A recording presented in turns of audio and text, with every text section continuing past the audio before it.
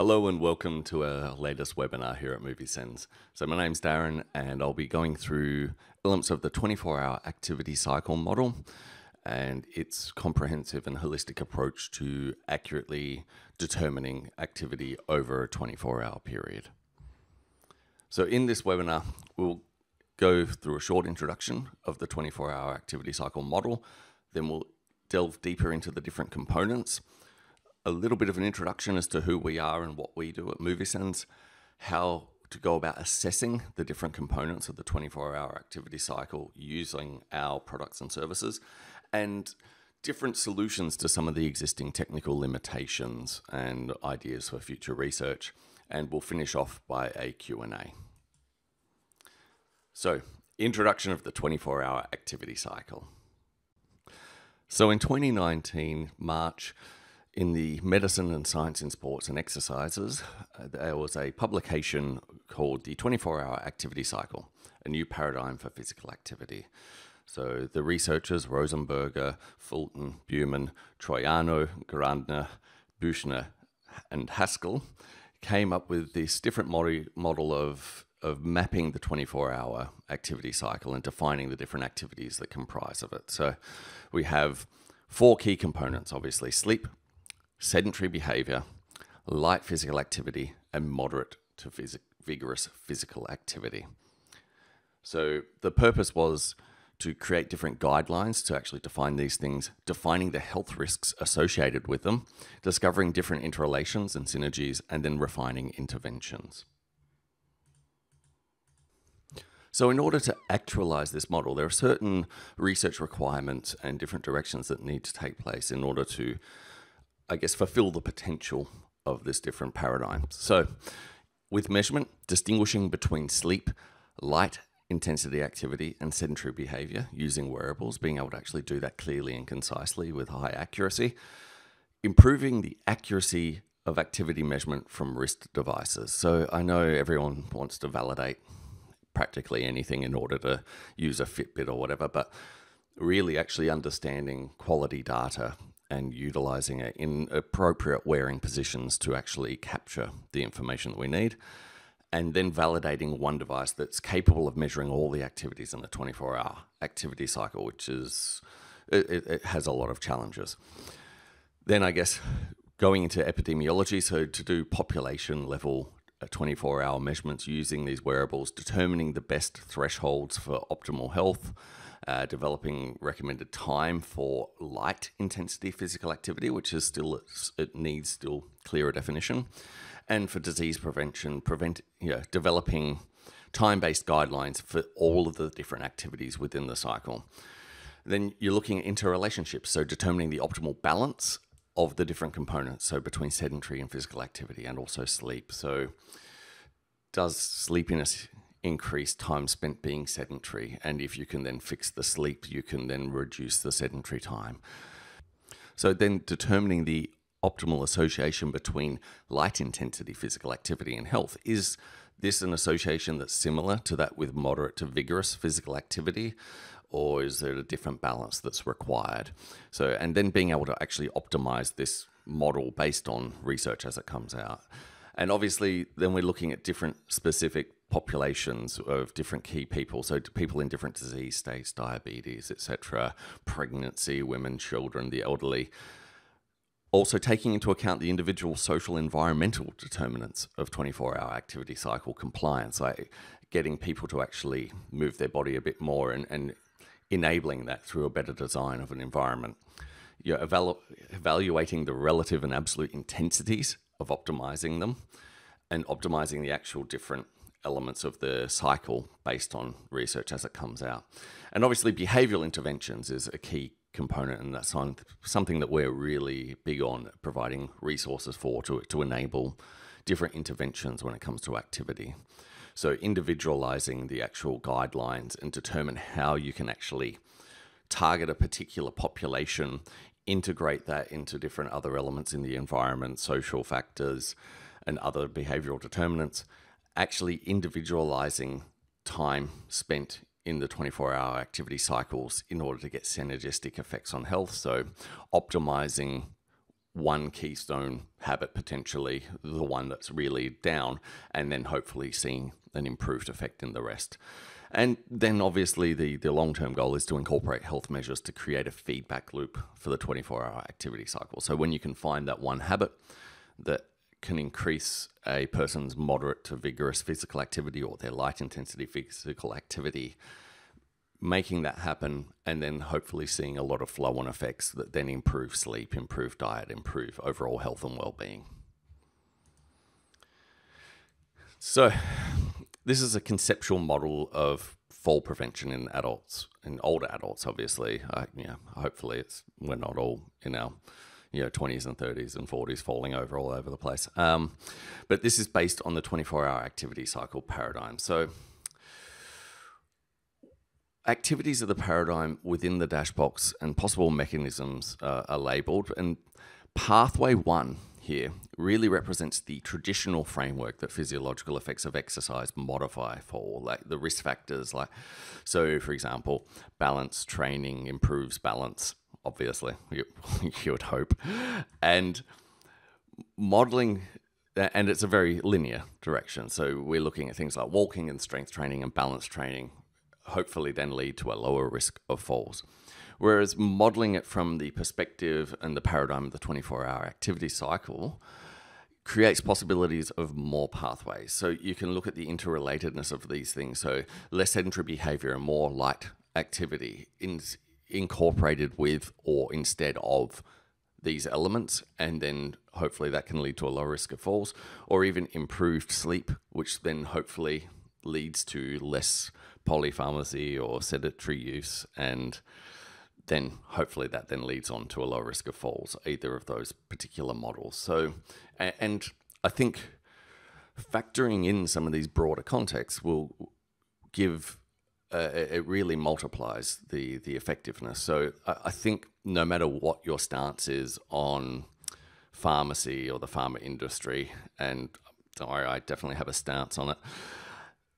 I think we can all agree that less pharmacological support uh, for the body, the better. The more the the more lifestyle changes tend to be a lot more sustainable and carry less of a biological cost, whereas pharmacy obviously will carry its own costs and its own drawbacks. Now, I think the 24 hour activity cycle activities are, are relatively obvious to uh, pretty much anyone that's watching this webinar. Most of you guys are really in depth in this field. So sleep and MET of you know approximately 0.9, you know, sedentary behavior and MET of less than equal to 1.5. Then light physical activity is kind of usually the stickling point as to defining it clearly. Obviously, we go with a framework of 1.5 to 3, uh, less than equal to 3. And then vigorous and moderate to vigorous physical activity is anything over three, and, and really vigorous is if you're getting up over six. So, sleep is obviously characterized by reduced consciousness, perceptual disengagement, and immobility. Moderate to vigorous physical activity is any voluntary movement produced by skeletal muscles that results in that particular range of energy expenditure. Now, sedentary behavior is characterized by both a sitting or lying posture and low levels of energy expenditure, but it's still slightly higher than sleeping. And then, yeah, light physical activity, there's no proper definition yet. So, movement that is not described as sleep, sedentary behavior, or moderate to vigorous physical activity. So, it's any light movement that results in a, energy expenditure like a, a, rate over the basal metabolic rate so the, uh, some sort of increase in actual physical movement. So we'll go into depth a little bit more on these components now. So sleep monitoring so naturally recurring and easily reversible state that is characterized by con- reduced consciousness perceptual disengagement immobility and the adoption of a characteristic sleeping posture. Now poor sleep there's evidence for a higher risk of weight gain, diabetes, hypertension, and depression, and amongst a whole host of things. It's really becoming more prominent in society now, the understanding that not getting a quality night's sleep really does have a lot of negative flow on effects for both your mental and physical well being. So, your health is affected by the total sleep time and the sleep quality. So when you're looking at sleep quality, it's understanding the sleep stages, the number of awakenings, the wake time after sleep onset, sleep latency, efficiency, and breathing. So it's regulated by a set of sleep wake switches that are at least partially controlled by the neurotransmitter orexin. And it's comprised of two independent systems that originate in the midbrain and project throughout the brain and body. Sedentary behavior, which is you know being labeled now as the new smoking for for health outcomes. So independently of moderate to physical vigorous physical activity, like there are a lot of negative things, but what we don't know yet is its relation with sleep behavior. Does better quality sleep predict less sedentary time or does poor quality sleep, you know, predict higher sedentary time? So studies show that time sitting increases the risk for all cause mortality. So I hope everyone, you know, got themselves a standing desk for at home office during the whole COVID pandemic and are working, uh, you know, happily sitting up at least and doing something that I hope puts us into that light to uh, light category of physical activity. So sedentary behavior, any walking, be- uh, sorry, any, no, walking definitely doesn't comprise of this. Uh, so any waking behavior characterized by an energy expenditure of less than 1.5 MET, so metabolic metabolic equivalent of tasks, while in a sitting, reclining, or lying posture. So I think sitting, I don't need to explain, uh, or passive sitting. Reclining is obviously you know the deck chair time, and then lying. Yeah, it's all relatively self explanatory, but the higher risk of early death, cardiovascular disease, type 2 diabetes, and even cancers is reasonably well established now with sedentary behavior. Light to physical activity. This is compared to sedentary behavior, there's a lower risk of early death, but not a lot is known about the effects and the relation with the volume of light to physical activity in the con in I guess the confines of the 24 hour activity cycle. Understanding if passive standing like so standing at the at the stand up desk for 8 hours a day how much of a positive benefit does that have? Or does that just merely tire you out so that you can't do the vigorous activity later? So it's really any voluntary muscle movement that that falls underneath a threshold of three in the METs. So, walking, uh, waking activity in a standing posture characterized by an energy expenditure of greater than two while standing without ambulation. So, without walking, supported or, under, or unsupported is classified as active standing. And then we have the light intensity, which is when you're actually in motion, but you're not quite pushing yourself vigorously. So, Examples would be just, you know, housework, shopping, cooking, light gardening activities, something that's just moving your body through a range of motion as opposed to just standing rather statically. Moderate to vigorous physical activity, my arch nemesis. Um, Sadly, there's a lot of evidence of lower risk of early death, cardiovascular disease, high blood pressure, bladder, breast, stomach cancer, cancer, cancer, what am I talking about? Dementia, even weight control. So, moderate intensity is any voluntary movement produced by skeletal muscles that results in energy expenditure. On an absolute scale, physical activity is done at 3 to 5.9 times the intensity of rest. So that's 3 through to 5.9 MET. Vigorous is when you're really pushing it. So on an absolute scale, it's 6 or more times the intensity of rest. Getting to know movisens and Yana needs to work on her posture. That, that can't be comfortable. So, movisens is a spin off from the Karlsruhe Institute of Technology, and it formed out of an interdisciplinary research group which was examining the relationship between stress, physical, and mental performance. And the research group found that the tools at the time for actually determining these things and answering questions about them were woefully inadequate. And so they went about developing their own tools and resources you know, several of which have now spun off into companies, and movisens is one of those companies. So it was established in 2009. It's headquartered in Karlsruhe, and we have 17 employees at the moment. Now, our big thing is providing solutions for multimodal ambulatory research. So on the left hand side of this circle, uh, we're looking at things like the objective data.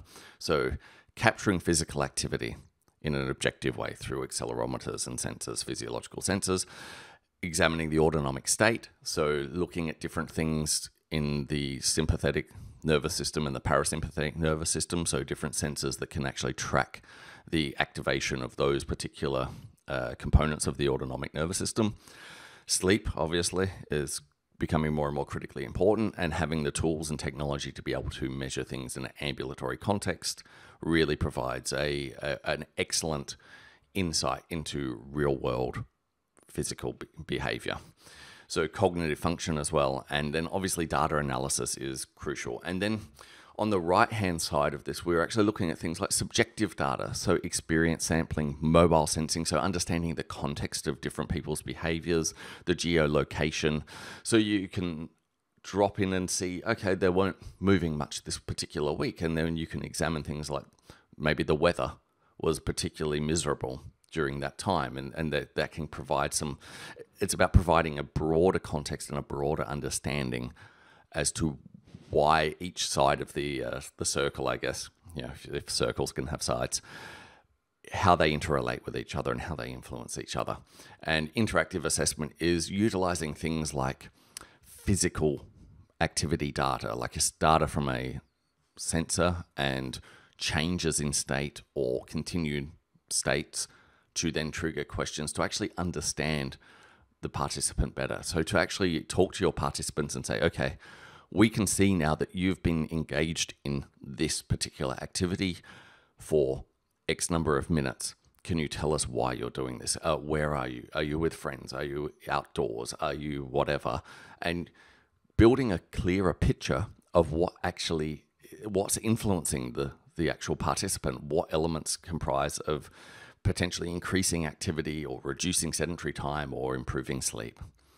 So we're a worldwide company. We've got sales all around the place. It's growing more and more as we continue along. We've got a nice little batch of universities that have been using our technology for a while who we're, we're quite proud to work with and help out.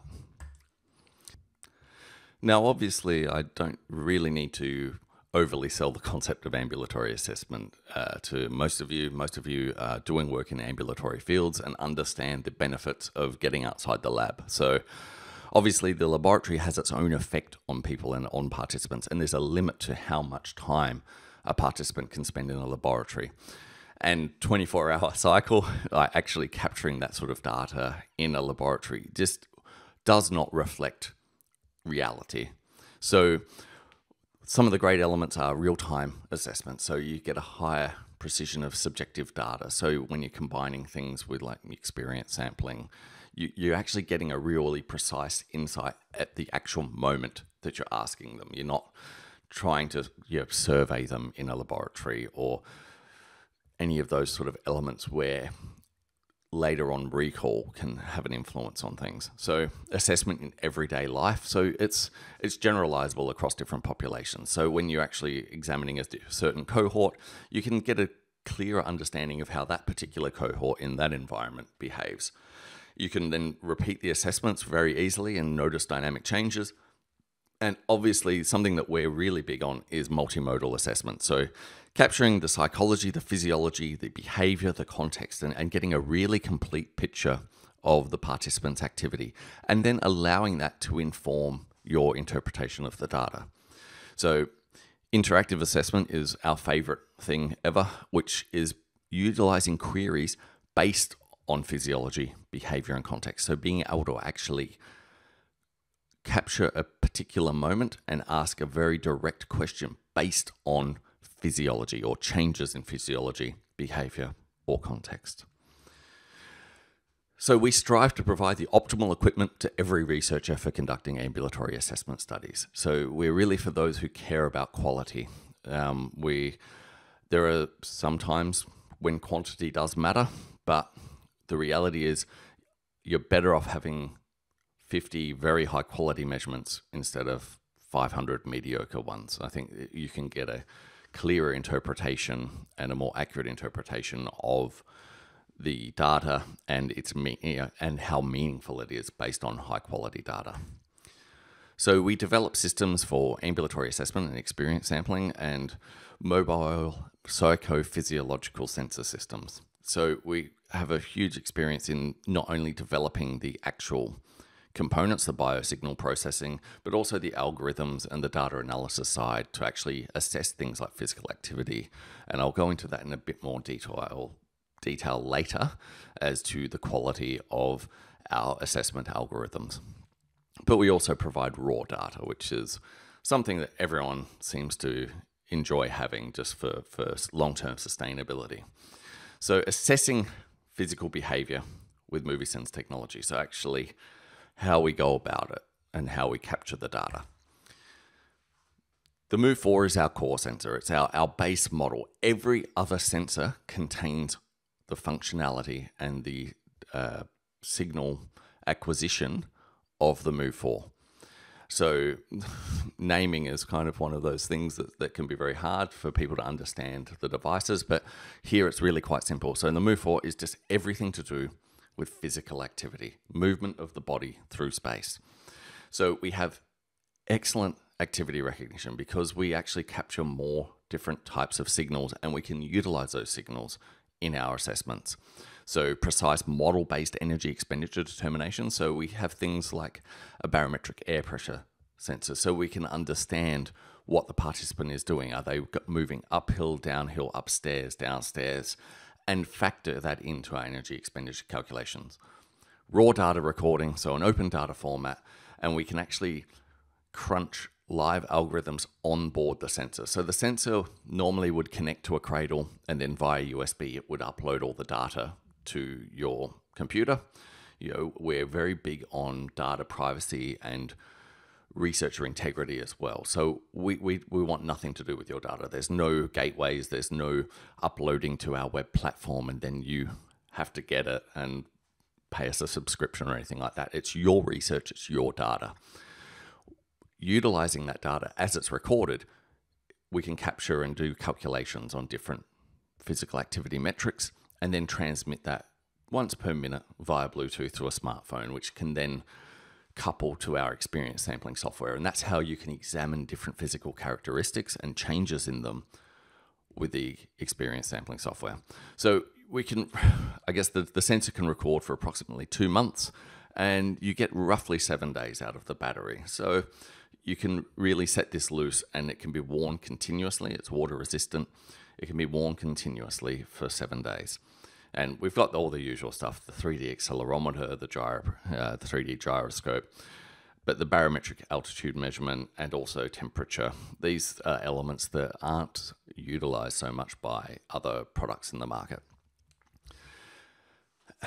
So, when we're looking at something like movement, in, movement intensity, there's a filtering that happens and a calculation and averaging. There is a lot of processes that go into our analysis algorithm. So we don't just run a linear regression across a 24 hour cycle of data and say, here is our here are our elements, you know, here is your data, here are your counts.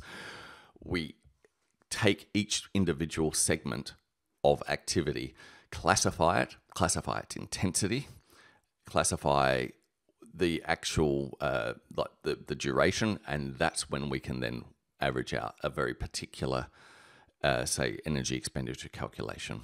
And that gives us a, a really good and accurate assessment in, in relation to a spiroergometer. We're really, really close to the mark in some of these things. So, same with steps, body position, activity recognition, and energy expenditure, obviously. But all of these different elements and components, uh, it really matters that you're analyzing the data effectively. There's no point in having all this great quality data without actually having the means to analyze it.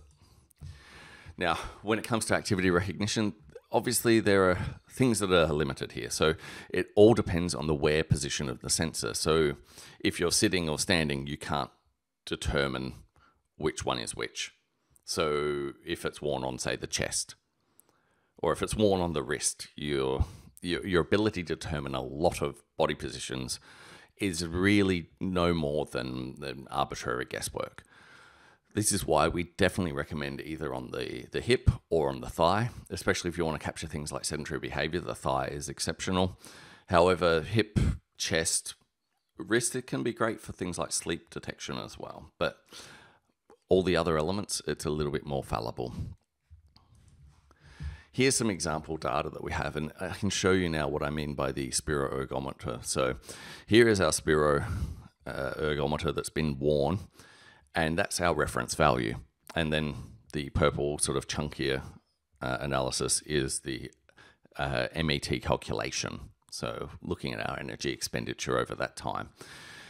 And we can see here, it's basically sitting not a lot happening. Pause, maybe they're, they're standing now because you can see a physical sort of a movement change has occurred. So, and then we go into normal walking and you can see relatively normal behavior, normal walking behavior, these sort of frequencies here. Then obviously something a lot more vigorous has occurred and we're tracking pretty closely on the whole. And on average, we work out very, very well versus the the reference value. Only thing where you notice a strong deviation is in cycling detection because you just cannot know what gear they're cycling in. You know what what resistance the bike is actually providing them and what sort of level of exhaustion it's it's it, you know what work rate you're actually having to undergo during the cycling phase. Well, we do have excellent cycling detection now, and you can see climbing and going up and down bridges involves more effort and more energy in walking at certain different points, certain different elements, and we track really nicely along those peaks and troughs, and it averages out quite beautifully. Now, cycling detection. This is actually a measurement that I did to determine it, and it was actually on my thigh at the time. And we can see the things like the body position and the activity class. This is when I'm actually pumping the tires up because you know I rarely get the bike out. Bending down to undo the uh, undo the valve, pumping, you know, crouching again to do the valve, you know, pumping again, checking, you know, making sure everything's all good, and then I hop on and I go into my first cycling phase, which is activity class three here. And that's when I'm just cycling. I think I cycled for about four or five minutes just to go to the shops. And then I grab some things walking around in the store. So that's that activity class there. And then back on the bike, here's where I got stopped at a traffic light and was standing there for about two minutes roughly, I think it was, you know, because whenever you're in a rush, someone always finds a way to make sure you stop at a red light. And then I cycled on, and that's me getting off the bike and walking into the office. So as long as you're using an appropriate sort of output interval, cycling detection is really, really good. And you can see just the, the change in things like the, the angular rate, like the, the gyroscope here. And if you zoom into these elements, you can see that kind of circular pulsing motion because I'm, I'm not someone that just is constantly pedaling. I'll pedal for a bit, then coast, pedal, coast, pedal, coast because uh, I, I just like to enjoy riding as opposed to racing to get somewhere. Now, assessing the 24 hour activity cycle components using our technology. Like, so what devices work where? What are the benefits? What are the drawbacks? What are the limitations? So, our base device, the Move 4, really can cover most bases to a certain resolution of detail. So, for things like sleep, Move 4 is fantastic. Sedentary behavior it's exceptional. Light physical activity, also good. Moderate to vigorous, it also fits the bill. When you need to add more detail, so if you need to understand the desire to sleep, so turning off the lights or sleep onset, you might need something like the Light Move 4. If you're studying sleep in shift workers, things you know people that do different sort of you know have different circadian rhythms to everyone else the light move 4 will provide a huge insight into their exposure to daylight the time that they're exposed to daylight their exposure to artificial lights their desire to sleep so actually switching off the lights and then you can compare that when they actually get to sleep versus the move you know uh, utilizing the accelerometer data, you can then see, okay, they have actually gotten to sleep roughly this time. They intended to go to sleep an hour ago, but they've been really restless and they couldn't. The ECG Move 4 will give you ECG derived respiration. And also, you can look at things like heart rate variability and see just how the heart is behaving and the parasympathetic nervous system is behaving and what level of recovery you're actually getting during that sleep phase. The Move 4 is really great for sedentary behavior. We'll just go clockwise today.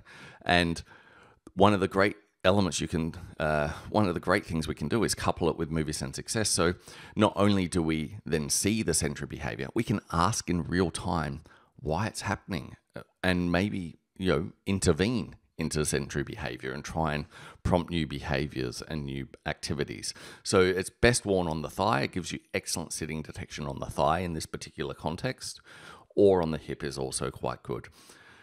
On the wrist can be more problematic because you'll get different classifications of sedentary behavior even when you're in, say, a, an active standing position. If the wrist is stationary on the keyboard, but you're moving your body around uh, at a standing desk, for instance, that will often misclassify.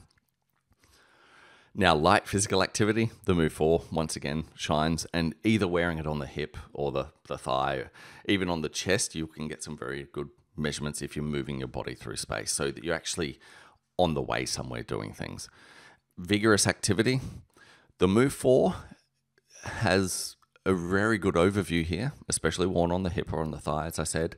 However, when you're doing things that are actually quite strenuous, say lifting a weight or riding on your Peloton, apparently they're a big thing now, it won't detect these things because your physical mass isn't always moving through space and it doesn't recognize that you're doing, say, a bench press.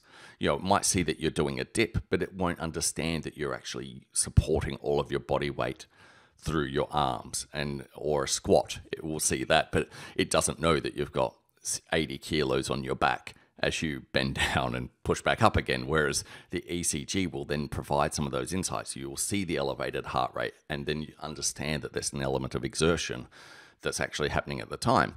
And with combining all these elements, that's when you can actually do the questionnaire. Say at the end of the increased heart rate period, you can then say, okay, 20 minutes after we've noticed an increased heart rate of, you know, for say 15 minutes, we've noticed an increased heart rate at a certain threshold, then we can ping them with a questionnaire and ask, okay, what what were you just doing?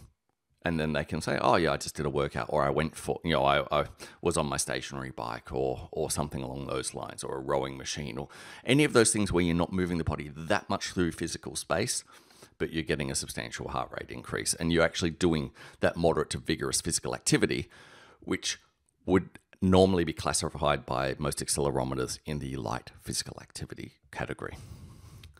So, obviously, our recommendation for different elements on sleep, just overall detection, the Move 4 is really good.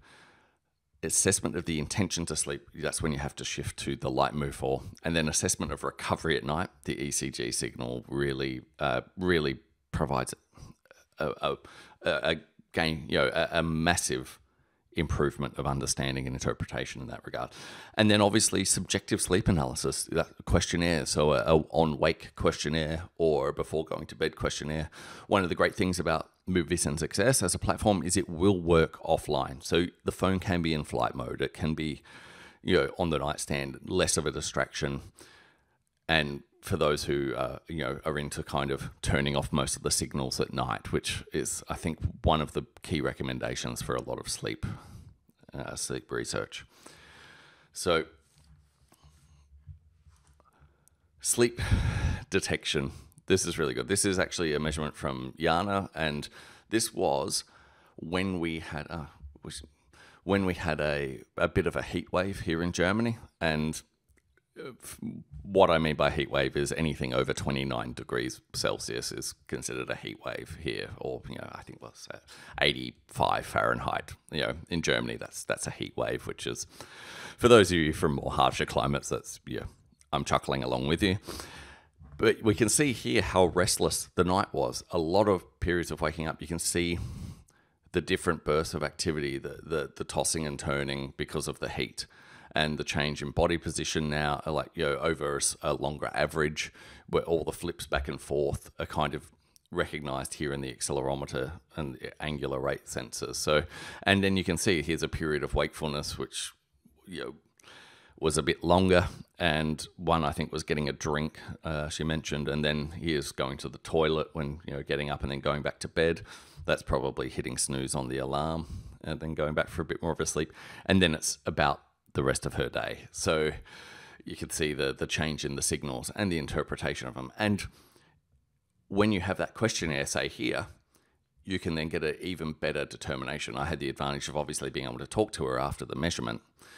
And yeah, it was a restless night. It was a restless night for a lot of people, and you can really see that in the data. Had she worn an ECG as well, we'd be able to look in deep and see, in comparison to other nights, how well she slept, how much recovery she actually experienced.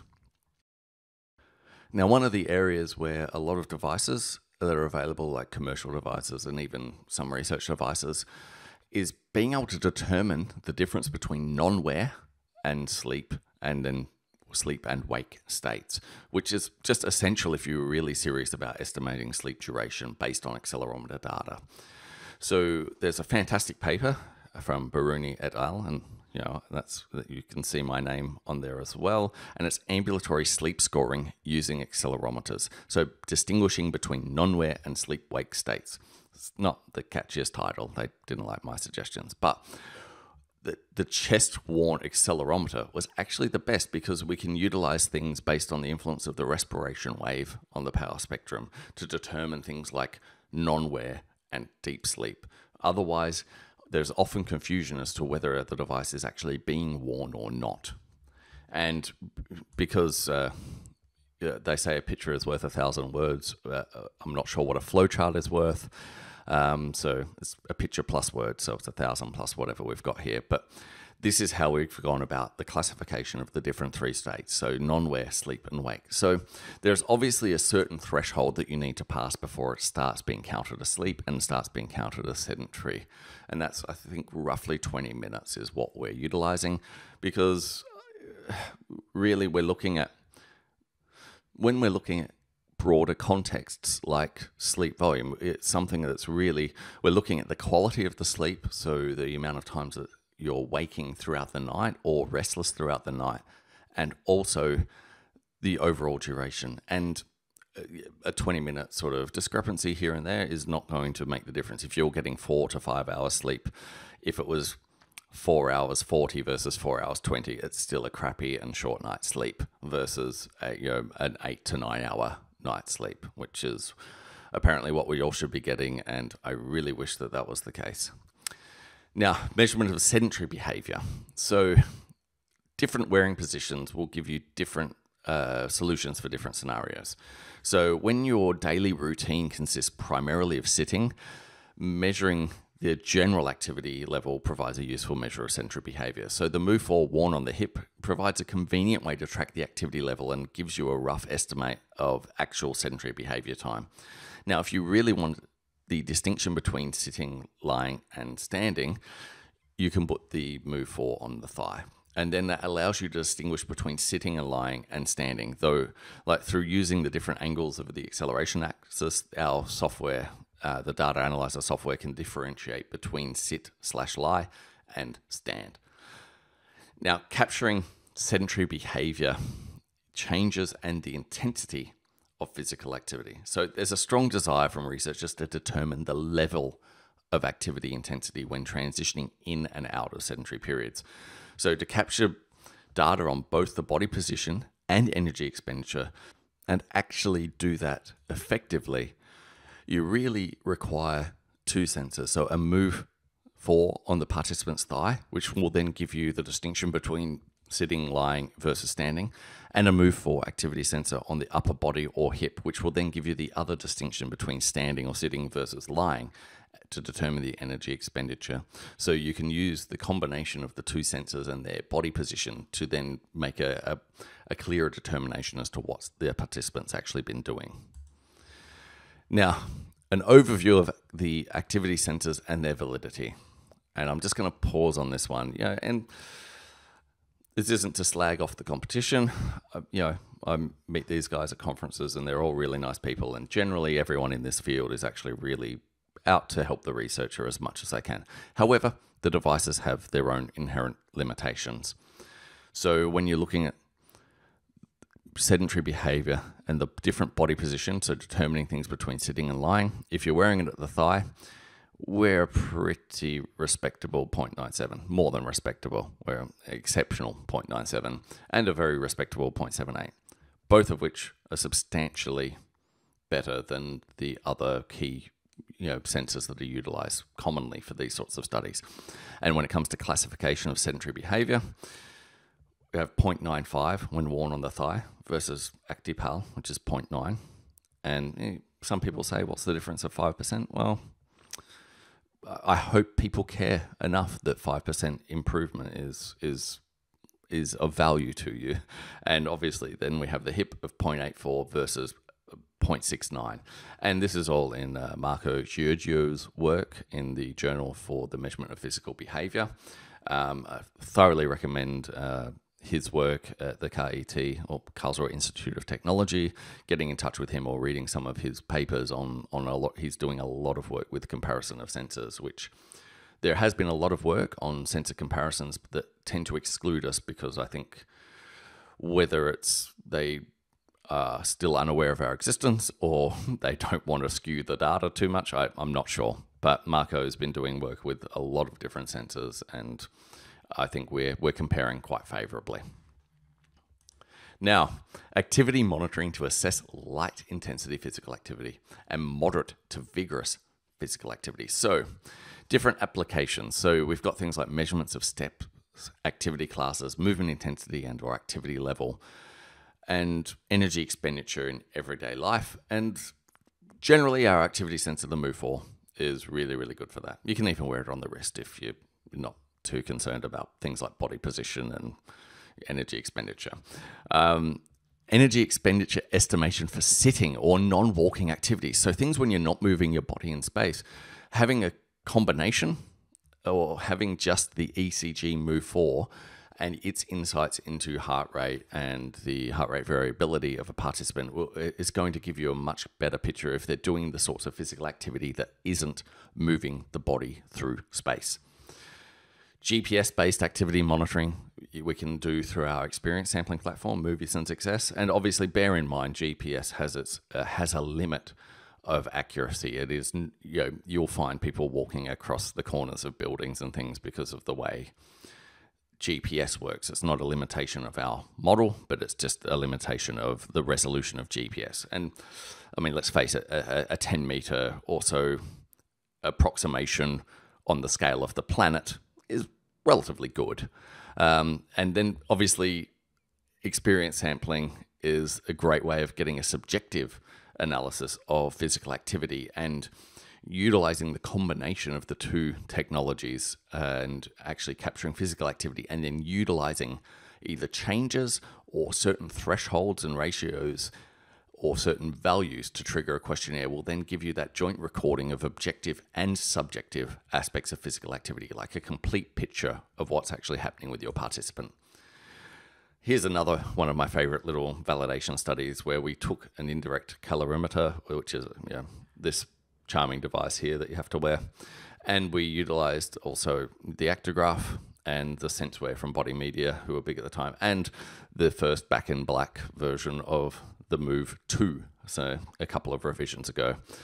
And there were certain activities that we wanted to assess whether we could improve the energy expenditure calculation utilizing a barometric air pressure sensor. So we looked at things like climbing upstairs, climbing downstairs, walking up a path with like a gradient and walking down the path. And this kind of speaks relatively for itself. I think it's pretty comprehensive as far as yeah, if you if you if it's a, if it's a sport, you know, we won. Um, so when you look at obviously the reference value is 100% all the time. Yeah, we're slightly above going upstairs, slightly above going downstairs, but when you look where the other competition is, they are drastically down and you know quite substantially higher in their estimations. Walking uphill, we're a little bit lower. So Stairs, we're slightly higher, but walking up a gradient, we're slightly lower, and same walking downhill, slightly lower. However, when compared to the competition, it's a substantial improvement in accuracy. And if you're doing things like interventions, you want to know if they're working. You want to see what effect you're having on participants' behavior and what their actual behavior is to begin with. And so, using a quality device that can actually determine these things with a higher accuracy gives your publication more weight. Now, limitations.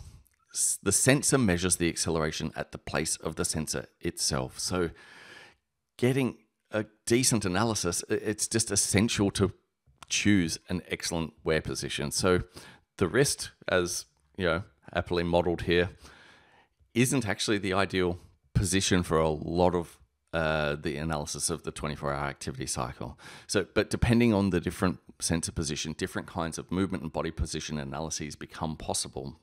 So, unfortunately, we can't determine the information about the location of a person with accelerometry. Um, I don't think any devices out there at the moment are doing uh, incorporation with things like GPS and stuff. Just be, the battery usage on these sorts of things is quite intense. Um, and there's a limited number of activity classes. But this is where it's essential that you can utilize different technologies in order to overcome this limitation. And obviously, we have our experience sampling platform, which is the right hand side of the circle that I discussed earlier. It's utilizing the participants and getting feedback from them to get to get a greater insight and understand the context of the data that you're capturing on the sensor. So our our platform is is is Android based. Um, this is off, uh, sort of an ethical decision, which I can go into in more detail, but it is not available on Apple.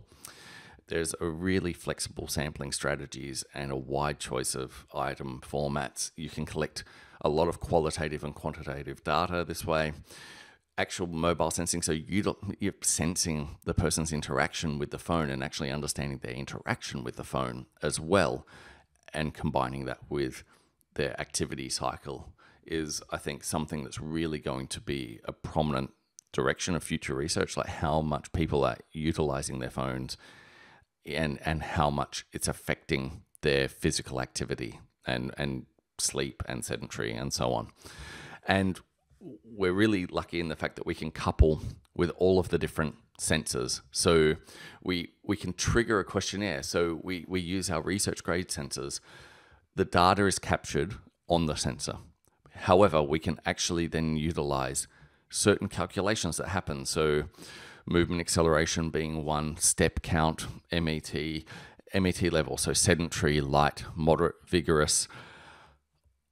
All of those can be captured just by the Move 4 and transmitted on a minute by minute basis. So it's capturing the data and it looks at the minutes data it's collected, runs a calculation on it, and sends these values via Bluetooth low energy. And then you can actually ask your participant questions based on what's happening. Obviously, if you have one of the other sensors, you can include things like light, so different light elements that it's actually experiencing, or ECG. You can look at the heart rate the RMSSD, so the high frequency heart rate variability, and then EDA even if you're wanting to look at things like sympathetic nervous system activation, you know, you can get better context on that. Are they experiencing a massive spike because they have just had, you know, won the lottery and got a phone call about it, or they've just walked into a store and saw the love of their life, or are they under threat?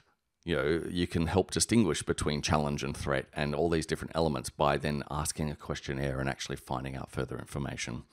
Now, we have our rather creatively named data merger. So we have you know, things like the sensor manager, we have the data analyzer, now we have the data merger, which allows you to merge the objective and subjective data and get something that then is easier to analyze further in things like SPSS or, or whatever stats sort of parcel you know, package that your your nerd of choice is is utilizing for you, and it it supports all the different study design structures, and it just allows a better synchronization, which gives you a better insight long term. So, I think I've covered most of the elements that we wanted to discuss, and now I would really ask you to throw as many questions as you can into the group chat and we will do our absolute best to answer them. We'll go back live. So we'll be sitting there in the office waiting happily for you to, to fire us a question. And we're really hopeful that you'll take this opportunity. And I know there are some really prominent people here as well, and i would really love their feedback and their insights and to bounce off of them. That would be great. And apart from that, thank you all for attending, and we'll now cross back live to the studio.